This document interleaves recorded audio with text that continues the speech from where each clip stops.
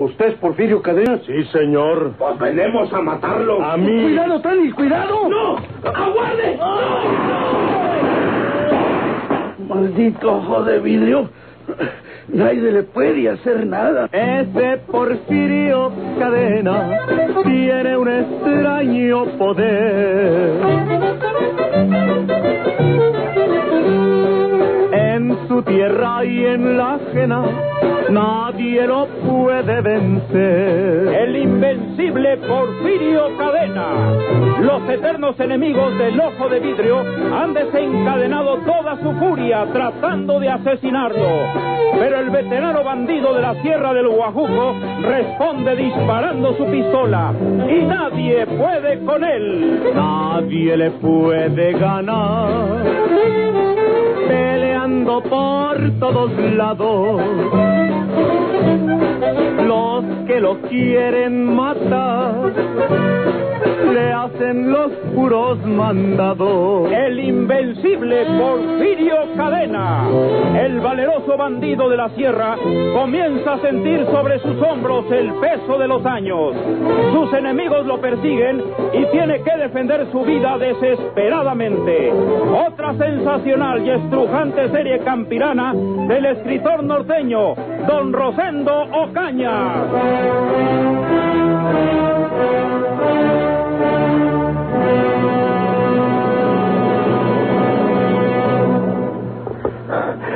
Es la única manera de pelarnos si no nos matan balderas. ¿Eh? ¿Cuál? A balazos. De otra manera son muchos para nosotros solos. Necesitamos aprovechar la sorpresa. Si nos toca la de buenas, que no nos metan un balazo. Al rato estamos en libertad. Pues a darle, Porfirio. Dicen que al mal rato, darle priesa. Nos vamos caminando sobre la salida, caminando a priesa y con las armas listas.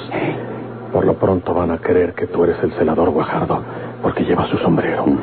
Pero como somos dos, tienen que pararnos el alto.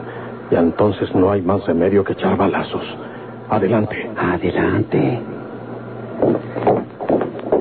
Acuérdate que esa pistola nomás tiene una carga, que es la del celador Guajardo. La mía tiene dos cargas. Con eso hay. Ya sea para pelarnos o para morirnos. Águilas, ya se dieron cuenta los de la guardia.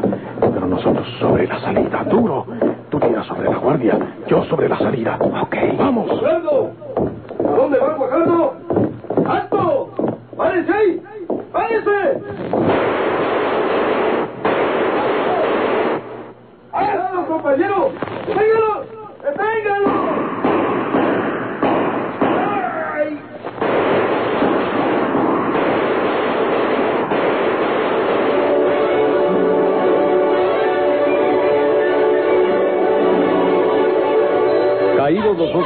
Que vigilaban la salida, Porfirio Cadena y Jesús Valderas pudieron abrir la reja general y salir del presidio, escasamente resguardado a aquellas horas de la noche. Los que vigilaban en la guardia aún no sabían ciertamente de lo que se trataba. Habían reconocido el sombrero del celador Guajardo, que se hallaba sin conocimiento en la celda, pero enseguida les habían disparado los que huían. No te detengas. Sígueme. No te quedes así. Sí, sí. Hay que salir de estos llanos, donde nos pueden cazar como a venados. ¿Y eso? La sirena. ¿Y, esa luz? El faro. No le hace. Hay que correr a Gazapaz. Ahí delantito está el yerbajal y no nos miran. Hay que correr mientras tengan fuerzas. Estoy pensando una cosa. Respecto a esa luz, al faro de arriba que parece que nos anda buscando. ¿Qué cosa? Esa. Tierra y no te muevas. Porque si la luz nos descubre, nos mete en la ametralladora. Quédate silencito y no te muevas para nada.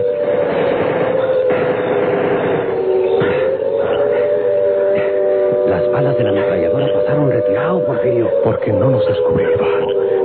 La luz pasó muy arriba y nosotros íbamos agazapados. No te muevas. ¿Ves? La luz está pasando por arriba de nosotros. Sí. Si en este momentito nos descubren, quedamos aquí como coladeras. No te muevas, no te muevas. No, no, no, no. Desde donde están los guardias de la torre, no pueden descubrirnos.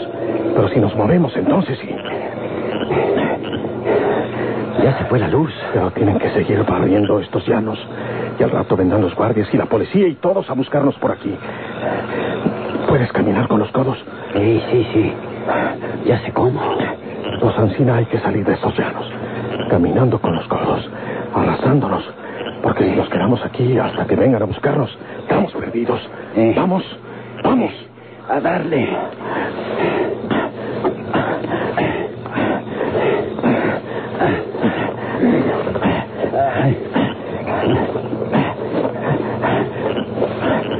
Más a priesa, Tejano. ¿Eh? ¿Tejano? Vaya, ya te dije, Tejano. Me acordé de Isauro, tu medio hermano. Más a pieza, Sí. porque necesitamos salir de estos llanos antes de que nos busquen con la policía. ¿Eh? Otra vez la sirena. Sí, sí. Y se me hace que eso quiere decir que, que ya avisaron a la policía. Y cuando vengan los agentes, pueden ser hasta los perros para buscarnos y nos agarran a dos fuegos. Sí, Hay que salir de aquí a como dé lugar. Man, que los codos se hagan garras arrastrándonos. Todavía podemos darle más apetita, Porfirio, No, ¿eh? no, no. ¿Tú por qué? Porque estás muchacho, pero yo...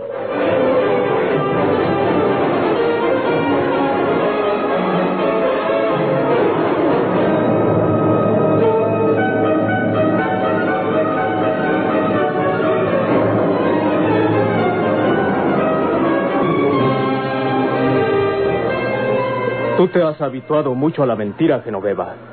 En un descuido no sabes a la hora que estás diciendo verdad o mentira. ¿Lo cree usted? ¿Cuántas veces te vine a suplicar que me dijeras la verdad? Y me aseguraste que Porfirio no había estado contigo aquella noche.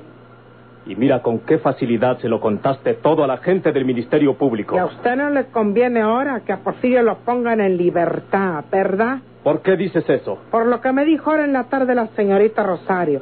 Estuvo aquí en el motel. Ya sé que estuvo aquí en el motel. Usted se va a casar con ella, pero si sale en libertad Porfirio, ¿quién sabe si se la aquí? Eres una idiota. No sabes lo que dices. Esposa, acuérdese que Porfirio también quería casarse con ella. Y él es su padre. Eso fue en otro tiempo. Rosario y yo nos vamos a casar porque nos queremos. ¿Y por qué se van a casar lejos del ¿Te valle? importa a ti? Nomás se lo estoy preguntando. ¿Por qué no se casan aquí en el valle? ¿No será porque van a poner a Porfirio en libertad? ¿Y puede venir para acá? Tal vez queramos evitar dificultades. Yo no soy un embustero como tú. Y te digo que estuve en la prisión despidiéndome de Porfirio. Y le dije que me voy a casar con Rosario. Y lo felicitó. No necesito felicitaciones de nadie. Pero yo vine a verte por otra razón. ¿Cuándo dijiste verdad y cuándo dijiste mentira? Primero aseguraste que Porfirio no había estado contigo. Ahora dices que sí estuvo a tu lado. ¿Cuándo dijiste la verdad? Quisiera saberlo. Ya le dije al licenciado que Porfirio sí estuvo conmigo. Y antes le habías dicho que no. Porque estaba enojada con él. ¿Y ya no lo estás? Pasa. ¿No se dará el caso de una tercera versión en tus declaraciones a la justicia? A lo mejor para mañana vas con el agente del Ministerio Público y le dices que la verdad es que Porfirio no estuvo contigo aquella noche. Sí estuvo conmigo. Antes dijiste que no había estado. Porque ansí no me convenía. ¿Y ahora qué es lo que te conviene? Que Porfirio quede en libertad para que venga a desquitarse contigo por haberlo negado, para que lo llevaran a presidio. ¿A poco cree que no me doy cuenta de lo que usted quiere? ¿Usted tiene miedo de que Porfirio salga en libertad? Porque puede buscarlos a usted y a la señorita Rosario. Para entonces ya estaremos muy lejos y casados. Tú misma le dijiste a Rosario que el agente del Ministerio Público te dijo que pasarían algunos días para cuando eso sucediera. Sí, ¿No te dijo cuántos días pasarían? no. Nomás eh, dijo que algunos días. La señorita Rosario dijo que ustedes eh, se van mañana. ¿Qué le preocupa entonces? Nada. ¿A poco vino a pedirme que fuera con el agente del Ministerio Público a decirle que Porfirio no estuvo conmigo aquella noche para que no lo pongan en libertad? A lo mejor esa es la verdad. la verdad es que usted tiene miedo. Y la señorita Rosario también. y tú no. Pero yo no corro. pues entonces espéralo. Adiós. Adiós. sí, me conviene que se vaya la señorita Rosario. Y quién sabe si ahora que venga Porfirio querrá consolarse en los brazos de Genoveva.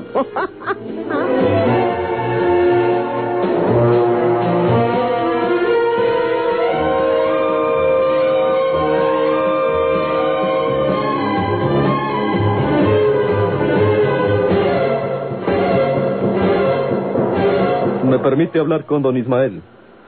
Voy a ordenar que lo traigan aquí para que hablen delante de mí. Eh, no, licenciado. Yo necesito hablar con él en privado. No le voy a tratar en absoluto su situación respecto a la muerte de su hermano. Es que estamos arreglando la posesión de las acciones que eran de don Juan Antonio y necesito que me firme unos documentos que traigo aquí. Está bien. Puede hablar con él. Ha estado muy excitado. No entiende por qué lo tengo detenido. O dice que no entiende. No le hable de su situación legal en este caso, porque puede trastornarse más. Se lo prometo, licenciado.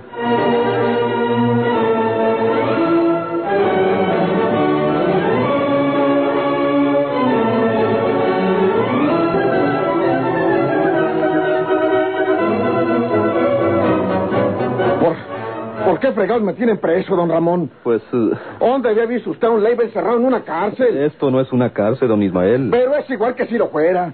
Porque de aquí me pueden mandar a una cárcel de veras. ¿Y qué va a pensar la gente cuando sepa que me tienen preso? ¿No cree usted, don Ramón, que van a pensar que es verdad que lo que andan diciendo esos calumniadores, que dicen que yo maté a mi hermano Juan Antonio? Tarde o temprano se sabrá la verdad. Tarde o temprano. ¿Cuándo?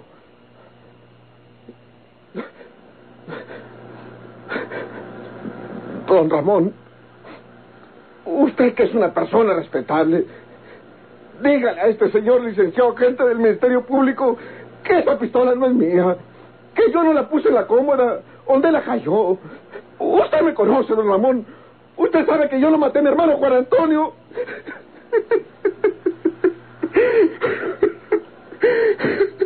¿Por qué andas diciendo todo eso con una fregada? Don Ismael, todo se puede arreglar con dinero. Y usted es muy rico ahora. Sí, Las acciones que eran de su hermano Juan Antonio ahora son de usted. Usted viene a ser casi el dueño absoluto del Banco del Valle.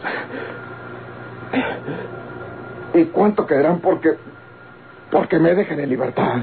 Y habrá oportunidad de que les hable de ello, don Ismael. Ando arreglando el traslado legal de las acciones de don Juan Antonio para que pasen a poder de usted. Tenga la bondad de firmarme estos documentos.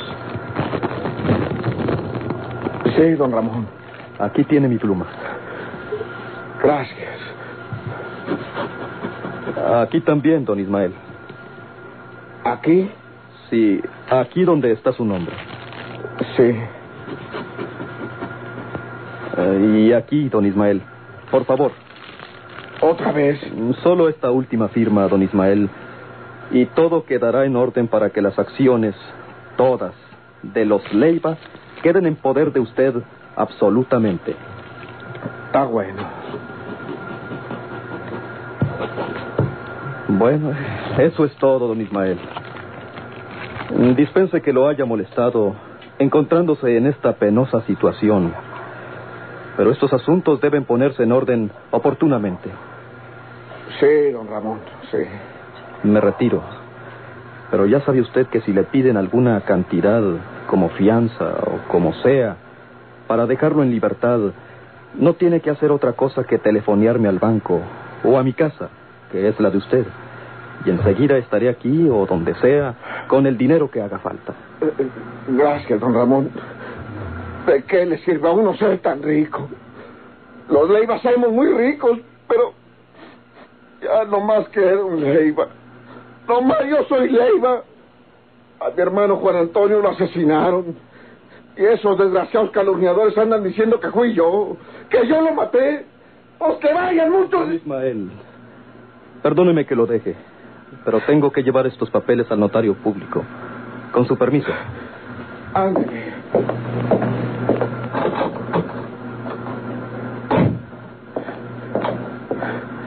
Bolas de desgraciados levantafalsos. ¿Por qué no me matan a mí también? Para que de una vez se acaben todos los Leivas.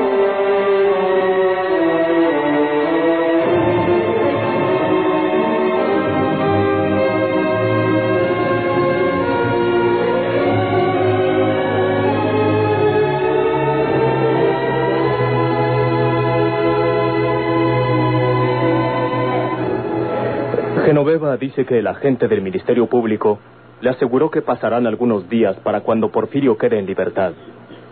Y es natural. Tienen que cubrirse algunos requisitos. ¿A, a qué hora tomaremos el tren mañana? A las 11 de la mañana. Es la hora en que pasa el que va hacia el norte.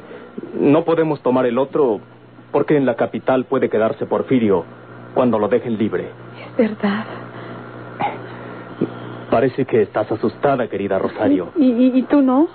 No, ¿por qué? No hay motivo justificado para que estemos asustados.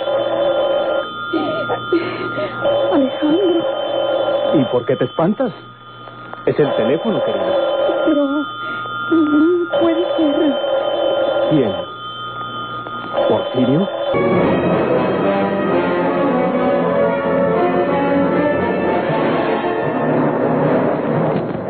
Bueno, ¿Es usted, señor Ruiz? sí, licenciado. A sus órdenes. Gracias a Dios. Acaban de telefonearme de la capital. Eh, sí. ¿Qué pasa? La pistola que les envié, o sea, la que encontré en la recámara de Ismael Leiva, es el arma con que fue asesinado Juan Antonio. Oh. Entonces, él fue. Y tengo otra noticia más escandalosa. Porfirio Cadena acaba de escapar de la prisión del Estado.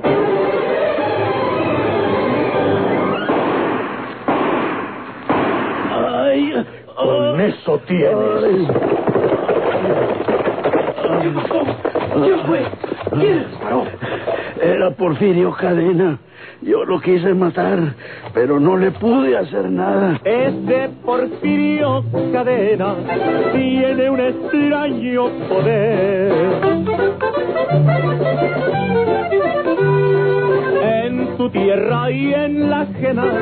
Nadie lo puede vencer. El invencible Porfirio Cadena, el veterano bandido de la Sierra del Guajuco en la época más tremenda de su vida y frente a sus más peligrosos enemigos.